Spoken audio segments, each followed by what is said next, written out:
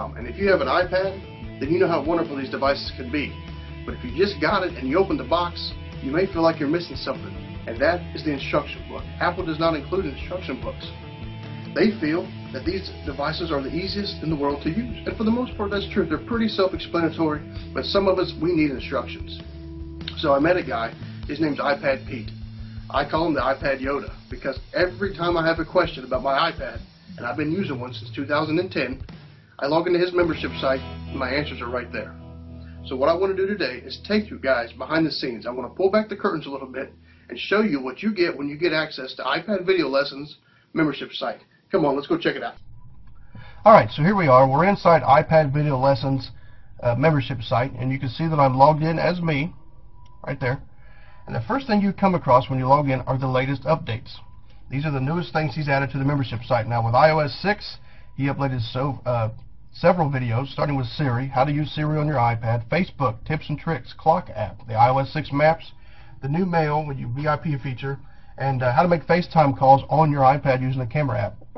I want to show you a couple of videos. The first one I want to show you is the Siri uh, video, how to use Siri. So here we go. Uh, the video quality is fantastic. You can see that it's it's uh, live on screen. How to use your uh, iPad. He's uh, right now he's using Siri, and he's going to talk you through how to use Siri and uh, all the things that she can do. Or uh, going back to the home screen, the next thing we come across is iOS 5 updates. Now iOS 5 updates are here because if you're using an older iPad, it is not compatible with iOS 6. First generation iPad cannot go to iOS 6, and for that or because of that, uh, he has left all of these iOS 5 videos up here. If you're using an older iPad, this section is for you. Have uh, iCloud, wireless features, notification center that was new with iOS 5, uh, the reminder app, which is really nice, and uh, the newsstand. If you if you subscribe to digital magazines, uh, I highly recommend it. It's a fantastic app. It's a really neat way to uh, read your magazines. You can watch videos inside your magazine. That's pretty cool. Uh, next, we get into Beginner's Boot Camp. In this section, if you just got your iPad and you're opening it up out of the box, this section's for you. You can uh, go from setting up your new iPad, how to communicate with it, um, how to navigate your home screen, how to put it to sleep. There's all kinds of videos here from actually opening it up in the box, what's inside, and how to set it up. This video here, I'll load it here really quick. You can see that he's opening the iPad. So he takes you literally by the hand, step by step, and shows you exactly what's in the box and what to do with it. And the videos are high quality. Most of the videos are under five minutes.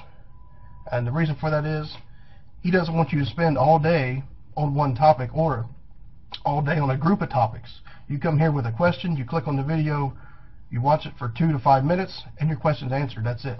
Next is web tips and tricks. Here you can go from connecting Wi-Fi, how to use your cellular data plan if you have one, bookmarks, how to make bookmark folders, uh, what to do if the videos don't play uh, on your iPad, and text and image links. Next is mail. He's got a whole section on mail, 10 videos from setting up your mail, syncing it with uh, Gmail, Yahoo, iCloud, uh, Hotmail, if you happen to use MSN. They're all right there. How to organize your mail, uh, replying, forwarding, Everything is right there. Uh, if, you, if you're really into reading, reading on the iPad is fantastic. You have iBooks and you have Kindle books. You can download the Kindle app if you have an Amazon account and read your uh, read your Kindle books right there on your iPad. Fantastic. Next is the App Store. Of course, a lot of people that's just why they buy their iPad. The App Store. There's games.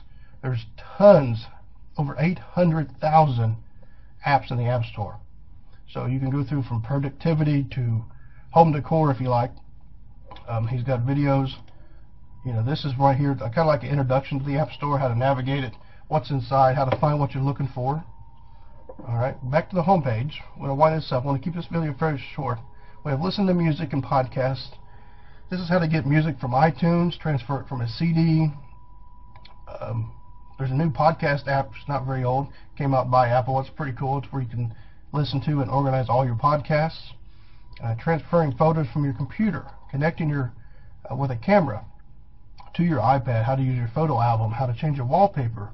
Um, you can even use your iPad as a digital photo frame, which is pretty cool.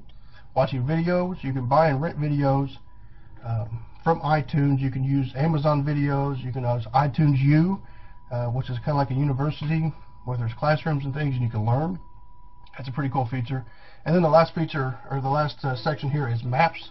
How to use maps, find where you're going, get directions, you know, uh, look things up. So all these videos, there's over 100 videos back here, and all of them are yours. As soon as you get access to this, you come in here, you log in, and this is what you get. Over 100 videos. It's updated all the time. Anytime a new feature comes out, he uploads a new video. If there's a feature that's not here, you have a question, send him a message, and he will create a video for you. So just click the link in the description below to get access to iPad Video Lessons membership site.